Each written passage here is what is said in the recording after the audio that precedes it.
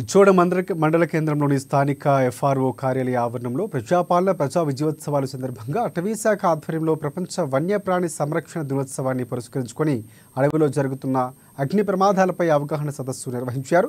అడవికి నిప్పు మానవాళికి మనుగడకు పెనుముప్పు అడవులు అగ్నిబారి నుంచి కాపాడదామంటూ విద్యార్థులకు అటవీశాఖ అధికారులకు అవగాహన కల్పించారు.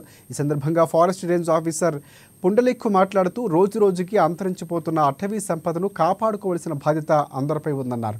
వన్య ప్రాణులకు కూడా సంరక్షించాలని కోరారు. వన్య ప్రాణుల వల్ల ఏమైనా నష్టం జరిగితే దానికి ప్రభుత్వ పరంగా నష్టపరిహారం చెల్లించడం జరుగుతుందని వివరించారు.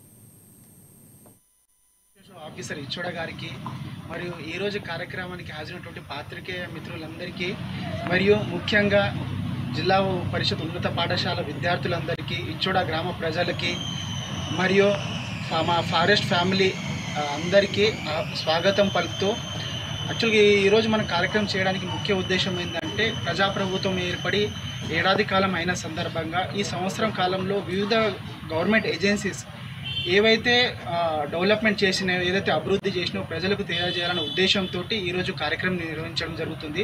దీనిలో భాగంగా ఫారెస్ట్ డిపార్ట్మెంట్ వాళ్ళ ఫోర్త్ రోజు ఫారెస్ట్ డిపార్ట్మెంట్ అనేది ఫోర్త్ రోజు కార్యక్రమం నిర్వహించడం జరుగుతుంది.